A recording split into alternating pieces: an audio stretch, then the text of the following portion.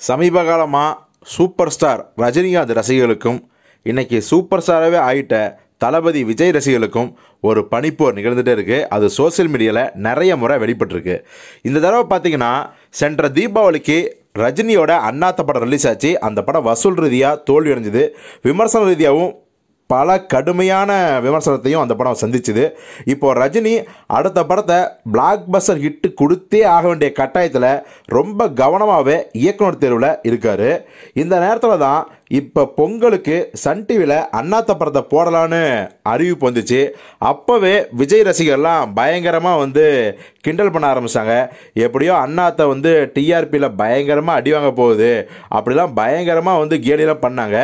ஆனால் ஆச்சரியமான விஷயம் என்ன அப்படின்னா அண்ணாத்த படம் டிஆர்பியில் மிகப்பெரிய அளவில் ஒரு புதிய சாதனையே பண்ணியிருக்கு.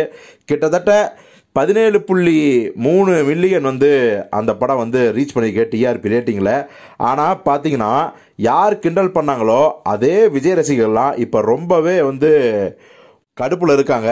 ஏன் அப்படின்னா அண்ணாத்த விஜயோட டிஆர்பி ரேட்டிங்கில் இருக்கிற சர்க்காரு அப்புறம் மாஸ்டர் பிகில் இந்த மூணு படங்களையும் தாண்டி போயிருச்சு. ஆனால் தலை அஜித்தோட விஸ்வாசம் படத்தை பீட் பண்ண முடியல. இப்போ வரைக்கும் விஸ்வாசம் தான் நம்பர் ஒன் இடத்துல இருக்குது.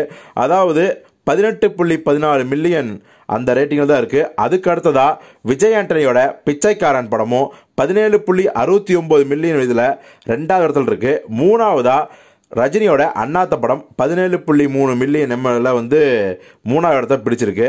மொத்தத்தில் விஸ்வாசம் பிச்சைக்காரன் அண்ணாத்த இந்த மூணு படங்களுக்கு இருக்க ஒரு மிகப்பெரிய ஒற்றுமை என்னன்னா மூணுமே வந்து குடும்ப படம். ஃபேமிலி சென்டிமெண்ட்டில் வந்து பட்டையை கிளப்பின படம். ஸோ இந்த படம் வெற்றியோ தோல்வியோ டிஆர்பியில் மூணாவது பிடிச்சது வந்து மிகப்பெரிய விஷயமா தான் பார்க்கப்படுது ஒரு பக்கம் அஜித் ரசிகர்லாம் நம்மளை இன்னும் பீட் பண்ணல அப்படின்னு சந்தோஷத்தோடையும் விஜய் ரசிகர்லாம் நம்மளை ரஜினி பீட் பண்ணிட்டாரு அப்படிங்கிற ஒரு வருத்தத்தோடையும் இருக்காங்க.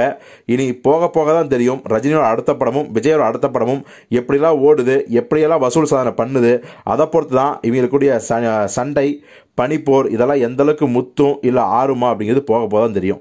இந்த செய்தி உங்களுக்கு பிடிச்சிச்சுன்னா லைக் பண்ணுங்கள் இது பற்றி கருத்தை கான்பாஸ் செய்யுங்க உங்கள் ஃப்ரெண்ட்ஸுக்கு ஷேர் பண்ணுங்கள் இது போன்ற சுவையான தமிழ் சினிமா செய்திகளுக்கு மீடியா தர்பார் சேனலை சப்ஸ்கிரைப் பண்ணுங்கள் நன்றி வணக்கம்.